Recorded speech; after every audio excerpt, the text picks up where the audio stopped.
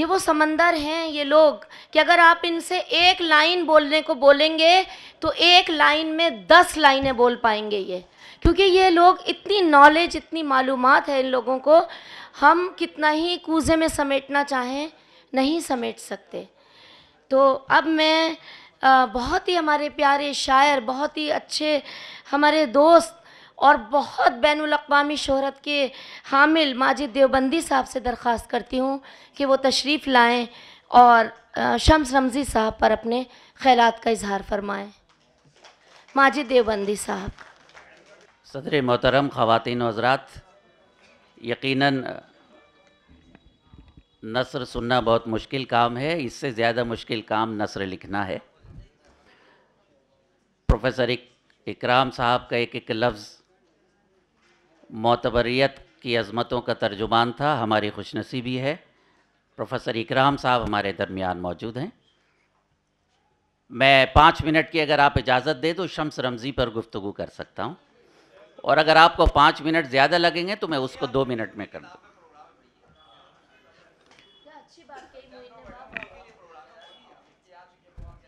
मुहिब मुकर्रम, अज़ीज़ मोहतरम गालिब नदीम दोस्त है कि मज़दाक, प्यारे भाई असलम चिश्ती स्टेज पर मौजूद मुफ़क्रिन एज़ाम शरा कराम।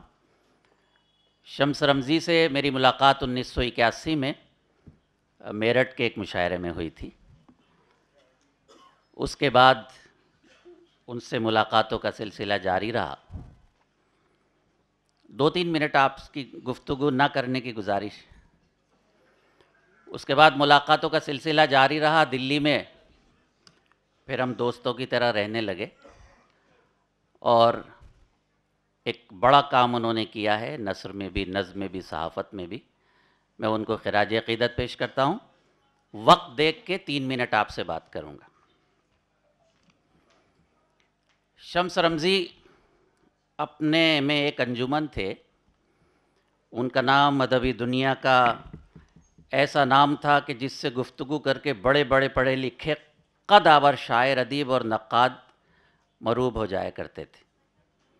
शम्स शायर थे, अदीब थे, नाक़द थे महक़ थे, माहिर लिसानियात थे और उरूज़ व फ़न का ऐसा इदराक रखते थे कि शाज व नादिर ही हिंद पाक में इस उम्र के किसी शख्स को ये मकाम हासिल हुआ होगा।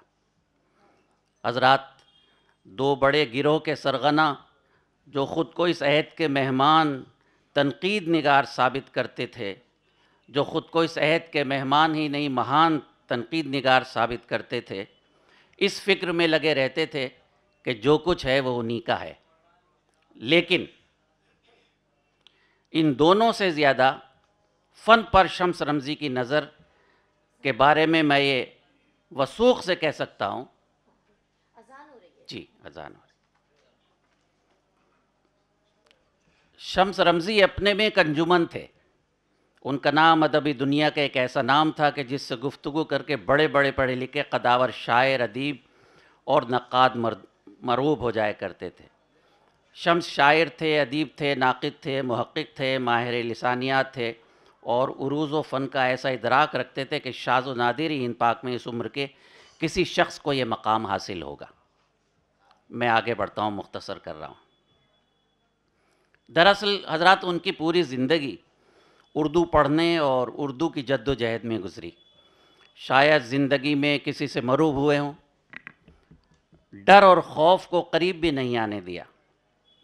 हिंद हिंदू फ़िरका परस्तों के ख़िलाफ़ शमशीर बरहना की तरह सामने आते रहे, जिसकी वजह से वो हमेशा हिंदुस्तानी पुलिस को मरगूब रहे।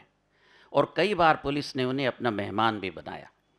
बाबरी मस्जिद की शहादत के बाद दिल्ली में होने वाले मुस्लिम कुछ फसाद में वो पुलिस के ख़िलाफ़ आवाज़ उठाने पर उन्हें गिरफ़्तार किया गया और शायद वो उस वक्त पहले आदमी थे। उनके घर को लूट लिया गया और उन्हें पाँच दिन तक तख्त मश्क बना कर रखा गया, लेकिन उन्होंने ख़ुददारी से जीते हुए किसी की गलत बात बर्दाश्त नहीं की। हज़रत ग्रामी शम्स के कौलो फ़ेल में तजाद नहीं था। कभी भी झूठ को झूठ कहने में वो कोई तकल्लुफ़ नहीं किया करते थे। मेरे ख़्याल में उसकी वजह ये होगी कि एक वक्त में कई कई शागिर्दों या नाम निहाद उस्तादों को गज़लें देनी होती थी। किसी को मजमून लिख कर देना होता था, किसी को नज़म लिख के देनी होती थी, किसी को गज़ल लिख के देनी होती थी। बहरहाल, हर एतबार से शम्स रमज़ी एक अपने में एक अहमियत के हामिल थे। और मुख्तसर कर रहा हूँ, आगे बढ़ रहा हूँ। उर्दू ज़बान अदब की शायद कोई सिनफ ऐसी हो जिसमें शम्स रमज़ी ने तब आजमाई न की हो। हमद नात मनकबत, गज़ल, रुबाई, क़ता, दोहा मुस्तज़ात गज़ल नुमा नज़म, मरसिया, नोहा, सलाम, कसीदा वगैरह, मगर उनकी मखसूस सिनफ गज़ल ही रही। बकौल रशीद अहमद सिद्दीकी गज़ल उर्दू शायरी की आबरू है। इससे कबल के उनके बारे में मैं अपनी राय कायम करूँ अरबाब कलम की आरा तहरीर करता चलूँ, जिससे शम्स की शख्सियत को बेहतर तौर पर समझा जा सकता है। शर्म रमज़ी दिल्ली के इस फ़न की सबसे ताल्लुक़ रखते हैं। उन जी, शम्स रमज़ी दिल्ली के इस फ़न की सबसे ताल्लुक़ रखते हैं। उनकी फ़ालियत, शेर व सुखन ही नहीं, तालीम, तहज़ीब, सियासत, सहाफ़त और समाजी फ़लाह खिदमत, अलगरज हर शोबे में अपना लोहा मनवाती रही है। उरूज़ और इल्म बयान के रमूज़ पर गहरी नज़र रखते हैं। इसीलिए शायरी और फ़न शायरी, तफ़ीम व तनकीद उनकी शहरत और तोक़ीर का वसीला बना। ये अल्फाज थे प्रोफेसर कमर रईस के, जो मैंने आपके खिदमत में पेश किए। चंद जुमले और सुन लीजिए, मजमून पाँच मिनट का था, लेकिन मैं इसे मुख्तसर कर रहा हूँ। हज़रत ग्रामी, शम्स रमज़ी, शख्सी एतबार से कई हैसियतों के मालिक थे। शेरी अदबी, सियासी और समाजी हलकों में ये पहचाने जाने पहचाने जाने वाले शायद अपनी उम्र में अहम तरीन दिल्ली के शोरा में नगारों में शामिल होते थे। शम्स रमज़ी की शायरी और शख्सियत के सिलसिले में प्रोफेसर कमर रईस मज़र इमाम की राय के इकतबासात मैंने इसलिए पेश किए हैं कि उनके बारे में मेरी राय की भी सनत हो जाए। और दुनिया की तमाम ही मशाहिर शख्सियात ने उनके बारे में अपनी कीमती राय पेश की है, जो उनके लिए अदब में ज़िंदा रहने के लिए काफ़ी है। ज़्यादातर मशाहिर की आरा में एक बात मुश्तरक है कि तमाम अहल कलम ने उन्हें नई नस्ल का नुमाइंदा, मुमताज़ और मोतबर माहिर उरूज़ फ़न तस्लीम किया है। हज़रत ग्रामी, अब इन हजरात की आरा के बाद मैं क्या अर्ज़ कर सकता हूँ? अलावा इसके कि दोस्ती का फ़र्ज़ अदा करूँ, लिहाजा चंद सतूर तहरीर कर रहा हूँ। आखिर का दो, आखिर के दो पैरे एक मिनट में। शम्स रमज़ी 1960 में गिन्नौर ज़िले बदायूं, उत्तर प्रदेश के एक अहल इल्म ख़ानदान में पैदा हुए, ये ख़ानदान आज भी गिन्नौर के चंद शुरफा ख़ानदानों में शुमार किया जाता है। इब्तदाई तालीम, मदरसा मदीनतूम में हासिल की, इसके बाद स्कूल में बर रास्त चौथी जमात में दाखिला लिया और गिन्नौर से 1980 में इंटरमीडिएट का इम्तहान पास किया। तलाश मार्च में दिल्ली आ गए और तब से यहीं के होकर रह गए। दिल्ली आकर प्राइवेट तौर पर बीए और एमए की डिग्रियाँ हासिल की। शायरी का शौक़ अयाम तिफली से ही रहा। सहाब सुखन अल्लामा अब रैसनी गिन्नौरी की क़ुरबत से ज़ौक़ शेरी पैदा हुआ। 1973 में शेर कहना शुरू किया और 1976 में अल्लामा रमज़ आफाकी मरहूम के हल्क़ तलामज़ा में शामिल हुए।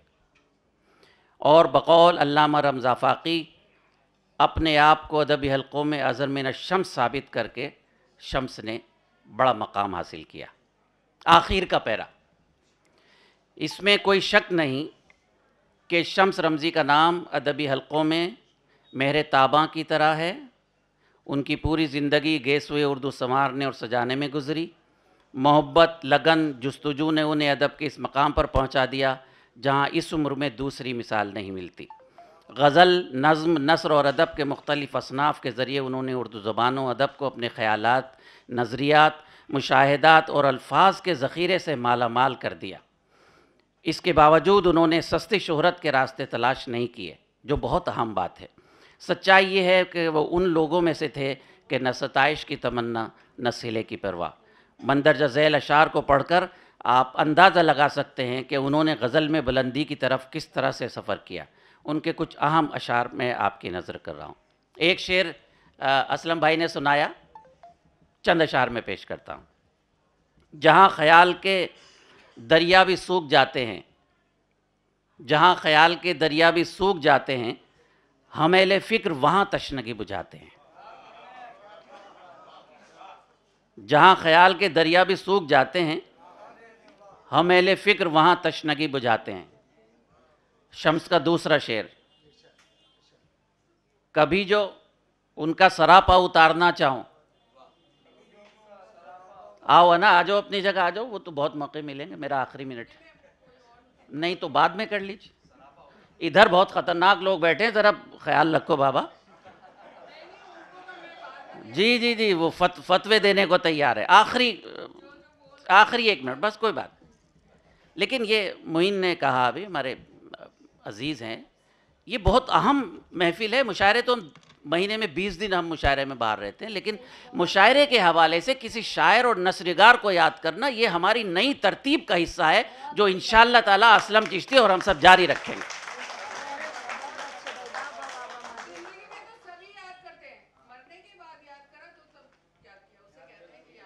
बल्कि मैं तो कहता हूँ कि ज़िंदगी में भी याद करें तो वो खुश हो जाएगा, मरने के बाद उसे क्या मालूम कि उसे याद कर रहा है कि नहीं कर रहा है। ज़िंदगी में भी याद किया जाए। बहुत संजीदा महफिल है। जहाँ ख्याल जहाँ ख्याल के दरिया भी सूख जाते हैं हमेले फ़िक्र वहाँ तशनगी बुझाते हैं। सुनिएगा शेर। कभी जो उनका सरापा उतारना चाहूँ, देखिए गज़ल की सरापा मुलायजा फरमाए। कभी जो उनका सरापा उतारना चाहूँ तो खुशबुओं के मुसलसल पयाम आते हैं। है ना? सरापा के हवाले से खुशबुओं के पयाम का मज़ा लीजिएगा। कभी जो उनका सरापा उतारना चाहूँ तो खुशबुओं के मुसलसल पयाम आते हैं। और सुनिए, हरमत अल्फाज से पैहम वज़ू करता रहा। है ना? हरमत अल्फाज से वज़ू। हरमत अल्फाज से पैहम वज़ू करता रहा मैं किताबों से हमेशा गुफ्तगु करता रहा। और इस शेर में शम्स का मुताला बहुत पढ़ते थे खूब पढ़ते थे। हरमत अल्फाज से पहम वज़ू करता रहा मैं किताबों से हमेशा गुफ्तगु करता रहा। आय हाय भाई आखिरी शेर मुलायजा फरमाए उसके बाद इजाज़त। फरिश तो आओ मेरी दर्सगाह में बैठो। डॉक्टर साहब सुनिए मार्फत का एक शेर सुनिए शम्स का। तारिक भाई फरिश तो आओ, मेरी दर्सगाह में बैठो। बयान रुतबे इंसान करना चाहता हूँ। अब अब आप मुलायजा फरमाएँ, सागर भाई, आप सब देखिए कि अशरफुल मखलूक़ात इंसान को बनाया गया, फरिश्ते से बड़ी अजमत इंसान की है। अब फिर शेर सुनिए, फरिश्ते से बड़ी अजमत इंसान की क्यों है? इसलिए है कि फरिश्ता गुनाह नहीं कर सकता, इंसान गुनाह कर सकता है और ना करे, ये उसकी इंपॉर्टेंस है। मकाम तेरा फरिश्तों से इसलिए है बड़ा कि अपने नफ्स को अपना गुलाम करना है। इसलिए फरिश्ते से बड़ा है। फरिश्तों, आओ मेरी दर्जगाह में बैठो, बयान रुतबे इंसान करना चाहता हूँ। बयान रुतबे इंसान करना चाहता हूँ और आखिरी शेर मुलायजा फरमाए मोहतरमा समात फरमाए, आखिरी शेर। बसी हुई है, ये कैसी खुशबू मुझमें। बसी हुई है, भाई क्या क्या शेर कहा शमसर ने? जन्नती तो हैं वो, दुआ तो करनी चाहिए, लेकिन जन्नती हैं। जन्नत आपके हमारे लिए बनाएगी, किसी और के लिए नहीं बनाई गई। थोड़े कानवान ऐड दिए जाते हैं, जन्नत हमारे लिए है, ये आप मुतमिन है। बसी हुई है, ये कैसी खुशबू मुझमें? शायद आकर बैठ गया है तू मुझमें। कितना अच्छा शायर था। बसी हुई है, ये कैसी खुशबू मुझमें? शायद आकर बैठ गया है तू मुझमें, और आखिरी चंद लाइनें, उसके बाद मैं आपके दरमियान से हट जाऊँगा। शम्स रमज़ी के इन अशार से आपने अंदाज़ा लगाया होगा कि वो किस नए पन से शेर कहने का सलीका रखते थे। मैं हर उस शख्स को इज़्ज़त, मैं हर उस शख्स की इज़्ज़त करता हूँ जो इल्मी हो। शम्स बेपना बासलाहियत होते हालात का शिकार रहे। उन्होंने न जाने कितनों को शायर बना दिया, कितनों को सहाफ़ी और न जाना कितनों को उर्दू लिखना, पढ़ना सिखा दिया। ये अलग बात, किसी ने उनसे इस्तेफादा करने के बाद इजहार नहीं किया। शेर कहने में उनको महारत हासिल थी। बहुत तेज़ शेर कहने वाले थे। दिल्ली के चंद शोरा में उनका शुमार बहुत तेज़ शेर कहने वालों में होता था। नसर की कई किताबों में उन्होंने अपने कलम का जादू जगाया। उनके मजामी में ज़बान चाहे नाशाइस्ता हो, मुलायदा फरमाएँ, उनके मजामी में ज़बान चाहे ना शाइस्ता हो, लेकिन बहरहाल वो नसर लिखने में ख़ासी महारत रखते थे और उसको सच्चाई के साथ निभाते थे। गज़ल के साथ साथ मनकबत उनका आजमूदा मैदान था। यूँ कहिए कि शायरी की हर सिनफ में कुछ न कुछ कहते और उसको खूब सलीके से पढ़ते। अल्लाह करे, जल्द वो वक्त आए कि शम्स रमज़ी का कोई शागिर्द उनकी शख्सियत और शायरी के हवाले से कोई ऐसा तहकीकी काम कर सके जो फ़िलहाल नाम, नामुमकिन नज़र आता है कि अब लोग जिंदों की कदर नहीं करते, मरने के बाद क्या करेंगे? अफसोस ये है कि उन्होंने एक शागिर्द ऐसा नहीं छोड़ा जो उनके बाद इस सिलसिले को आगे बढ़ाता और नए लिखने वालों के लिए कुछ न कुछ छोड़ता। उनको सबसे बड़ा खराज अकीदत ये होगा कि उनकी शायरी और शख्सियत के मस्बत पहलुओं को ज़िंदा रखा जाए, जिससे आने वाला वक्त ये जान सके कि शम्स रमज़ी का नाम कोई शख्स, शम्स रमज़ी नाम का कोई शख्स था जो 17 फरवरी 2017 को इस दुनिया से चला गया और साथ में सिर्फ़ और सिर्फ़ अपनी यादें छोड़ गया कि कहाँ वो बात, कहाँ ऐसे इज़्ज़ो शान के लोग, बड़े अजीम थे वो मेरे ख़ानदान के लोग। हम अपने अहद में जो कुछ भी हैं, गनीमत हैं, तलाशिएगा कहाँ ऐसी आन बान के लोग, और वहीं वहीं बड़ी इंसानियत हुई महसूस जहाँ जहाँ भी मिले हैं मेरी ज़बान के लोग। बहुत शुक्रिया।